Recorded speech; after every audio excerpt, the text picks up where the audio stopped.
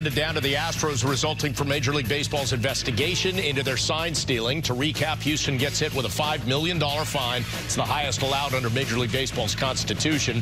The club also forfeits first and second round picks in each of the next two drafts. And one-year suspensions go to A.J. Hinch and GM Jeff Luhnow, both of whom have also been fired. Good to have you back once again. We've gotten several takes on what's happening. Certainly here from the set, from Buck Showalter as well. Michael Kay joins us now, our yes colleague. And Michael, you chatted about this a lot on your radio show. What was your takeaway about first these suspensions and then the firings? Well, I, I thought the suspensions were warranted, and, and I, I think that what Jim Crane did uh, was pr- pretty much a referendum on how he did not want to be stained by this. So he wanted to act decisively and said, okay, they're suspended, but I want to go further than that. I don't want them uh, associated with my organization. So I think that makes him look a little bit better, although I don't think anybody's hands are 100% clean. Uh, the biggest argument that we were getting on the radio show, especially from callers, why were players not disciplined? And, and it's a decent question because they kind of got off scot free, other than the fact that you know their resumes are going to be somewhat tainted. Uh, the MVP that Altuve won in 2017 will be tainted. The, the World Series championship they won will be tainted. Uh, the contract that Altuve got will be tainted as well. Uh, but the bottom line is he still has them, and he still has the World Series rings. And I think a big part of why they didn't discipline the players, it's as simple as this: you're going to have to deal with the union. I, I don't think the union is going to allow their players to be disciplined for something like this. And even if they were going to allow it, they were going to fight it. It was going to drag through the season. It would be an ugly cloud that would be over the team. I don't think that would be good for baseball. And I think that what Manfred did was lay down punishments that could be upheld, that would be done and finished and accomplished when it, when it was announced. If you all of a sudden start disciplining players, then I think that becomes a, a, a long-standing fight that you're going to have to deal with with a union that you also have to, you know, you have to negotiate a basic agreement with down the line. You know, Michael, when Jim Crane was making his comments, he mentioned that the team this year, the Houston Astros, they're still a good team and they're going to have a good year. I'm curious how you think they're going to handle it out on the field next year. Well, I think they're going to be they're they're going to be vilified everywhere they go on the road. Obviously, the games that they play at Yankee Stadium, they will be the enemy like no other enemy other than the Boston Red Sox. It's going to be loud. It's going to be constant. It's going to be in every single city where they were never the villains before from fans. They're going to be the villains. They're going to be looked at uh, whether it's fair or not, as cheaters. And I think that what they do in 2020 is going to be uh, really a good test on how much of their success came from knowing what pitches were coming or not. So uh, I don't know how they're going to do. I don't know who their manager is going to be, and they're also one of the teams that spent the fewest amount of dollars on free agents. So they knew that something was coming down, and uh, they're going to go. They're going to roll with the team that obviously did so well last year. Will they do well without um, any kind of advantages uh, gleaned from any electronics?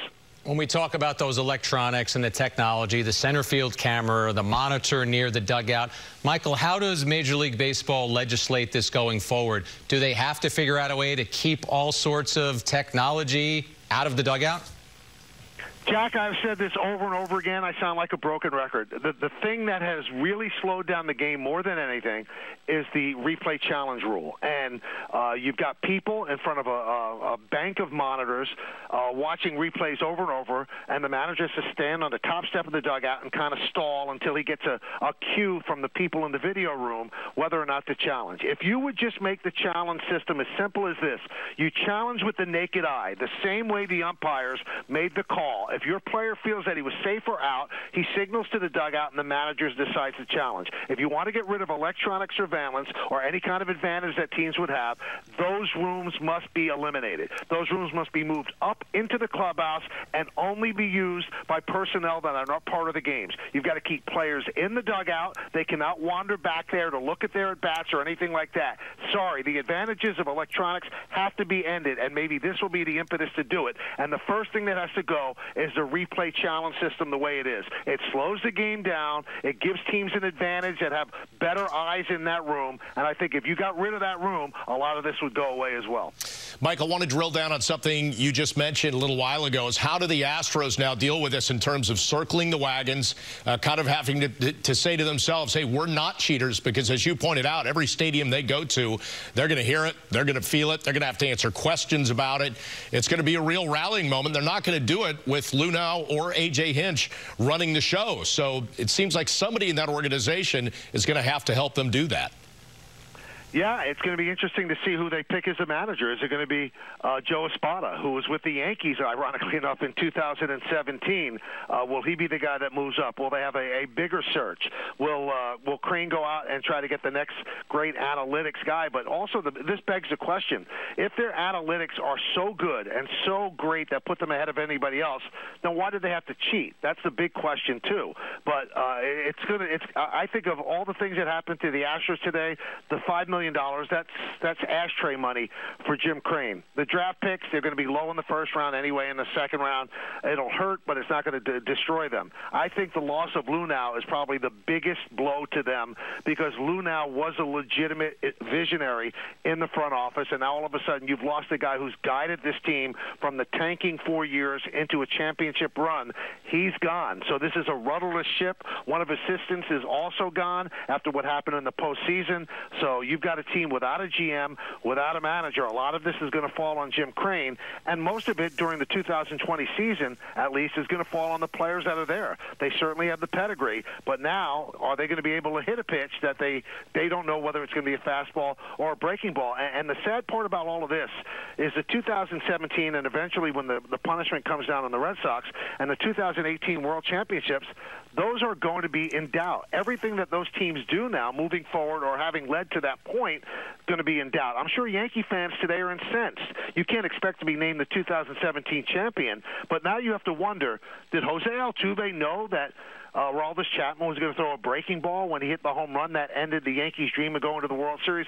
All of these things now are up for debate. Whether it's legitimate or not, you have opened it up for debate with documented cheating in 2017. And no, no matter which side you come down to on this, guys, this is a really, really lousy day for baseball. Yeah, we're talking about baseball, but we're talking about it for all the wrong reasons. It's a brutal day for the sport.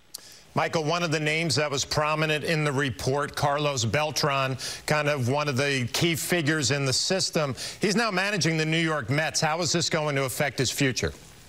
I, you know what, John? I, I'm not sure why he was the only player whose name was mentioned in that report. There had to be a reason that was the only name that was mentioned. Also, in text messages, uh, I believe to Joel Sherman and one other writer, he denied any involvement in the Astro sign stealing scandal. So obviously that's a lie. When he spoke to the investigators, he came clean and told the truth. I think the biggest question now rests: Did the Mets ask him if he had any involvement? Did he lie to them? Or did he tell them the truth? Now, if he lied to them, then they have every reason to get rid of him. If he told them the truth, then it's on them if they can live with the fact that Jim Crane has fired A.J. Hinch. In all likelihood, if a big suspension comes down on Cora, John Henry's going to fire him. Do the Mets want to be involved with that stink, or will they hide behind the fact hey, Major League Baseball didn't discipline him. Why should we discipline him? I think it's going to go. Re- it's going to be really difficult for Carlos, and and it also points this stuff out, guys. And I said this on the show earlier. Winning and the ultimate um, glow of a championship is such an aphrodisiac that good people will do bad things to accomplish that goal. And you know, Jack and John, you know this there are very few people in Major League Baseball are better people than Carlos Beltran. He is a gem of a person. He is a loved teammate on every team that he's ever been. Ask the Yankees when they had him on their team as well and he was a big part of this. So you can't be surprised by anything anymore. The ball is in the Mets' court. Whether or not he lied to them, or whether or not they want to they want to live with this stain, uh, uh, having a manager that was so uh, closely involved in this. Well, this thing certainly has tentacles, no doubt about that. Michael, appreciate you joining the show. Look forward to seeing you again soon.